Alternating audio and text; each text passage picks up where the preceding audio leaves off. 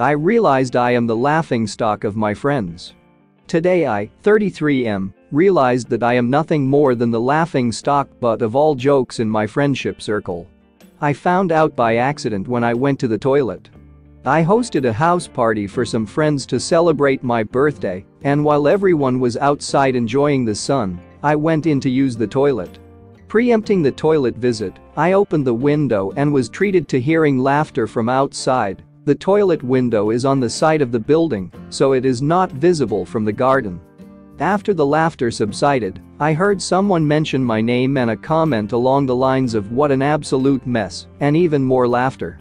My name was mentioned several times in the following minutes, and my friends tore me to nothing, insulting everything about me, and everything I tried to do everything from the drinks I make people, all are just thrown away, to the night getting better when I leave.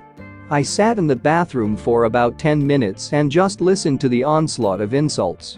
A secret I confided in one friend was broadcast to the whole group, again to much laughter. When I eventually returned outside, everyone carried on as normal. However, I became aware that I wasn't part of the conversations and wasn't included in anything bar shared smirks and people glancing in my direction. At one point, I was making a drink in the kitchen and one very drunk friend walked in, said, we're all talking about how you're such a lightweight, burst out laughing, and walked out. The more I sat there with everyone, the more I clicked into place. Whenever I arrange an event, people turn up late and leave early. I'm not invited to other get-togethers and seem to be left out of all in jokes.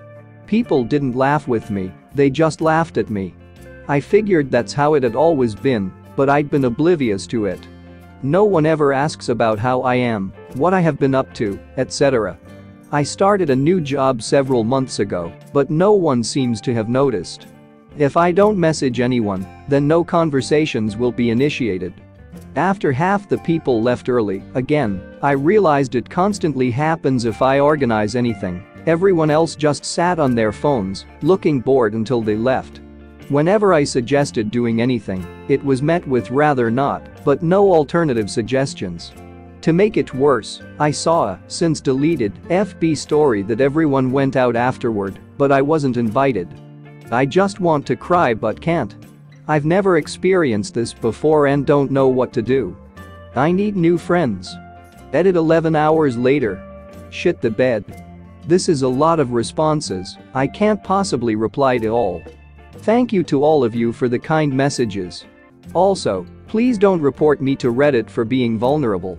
I'm not going to be offing myself, although I appreciate the sentiment behind the reporting.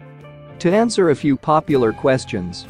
I'm not going to block anyone just yet, but I have muted the group chat. I want to see if anyone will reach out if I don't respond in the main group. Then, at least, I can see if anyone is a friend. I enjoy hobbies, mostly cycling, photography, and supporting my local rugby league team.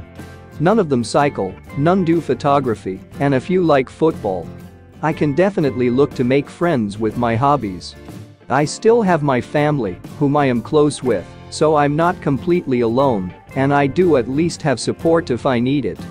They were at my house because it was for my birthday celebration. I bought all the drinks and food and invited everyone around. I don't know if it's me being soft, but if I invite people around, I don't expect them to have to bring anything. If someone else isn't there, they don't get bad-mouthed. It wasn't roasting, joking, hijinks, etc. I would get a joke about being a lightweight, but it went beyond that what was being said how it was said. Especially with the comment, much better now they have left and everyone agrees.